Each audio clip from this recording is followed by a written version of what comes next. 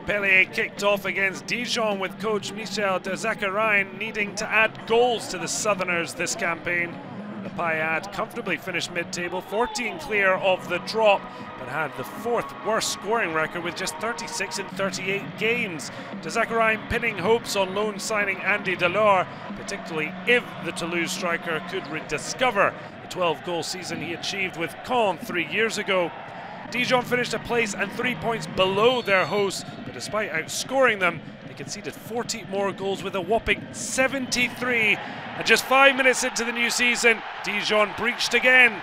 Pedro Mendes with his first at La Mosson, the former Portuguese under 21 year old, once on Real Madrid's books, showing a Ronaldo style finish, striking the post to give goalkeeper Alex Runarsson false hope. Well, Dijon coach Olivier Dall'Oglio failing to contain his disgust. The mustard not spicy enough, with Montpellier's palate unaffected as they enjoyed the satisfactory feeling of a sweet 1 0 half time lead. But a bad omen as goalscorer Mendes was forced out injured. And the Paillade hadn't beaten Dijon in the top flight since October 2011, so history told they couldn't rest on their laurels. But Montpellier went to sleep, Naim Sliti the provider. And when the ball bounced kindly for Julio Tavares, the Dijon captain collected his 60th league goal for Dijon and 22nd in the top flight. Right place, right time. Benjamin Lecomte caught cold as they side proving the nuisance as Taver added the finishing touch.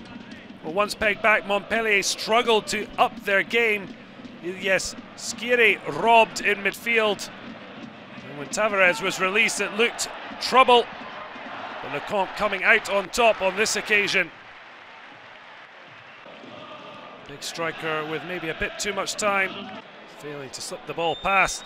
But Ruben Aguilar couldn't keep his hands to himself. Penalty awarded inside with the chance. Aguilera couldn't watch, but it was the striker who would have nightmares. Brilliant save by Lecomte, but Said with an absolute horror of a rebounded effort. Well, the joy was short-lived for Montpellier, though, as Dijon would have the last laugh.